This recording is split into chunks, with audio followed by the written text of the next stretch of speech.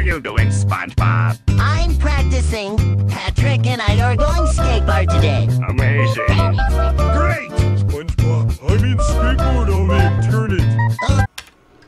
We got our own website now. oh, that's amazing. You can people to find it. Well, I told you address it. www.nick.co.uk slash SpongeBob.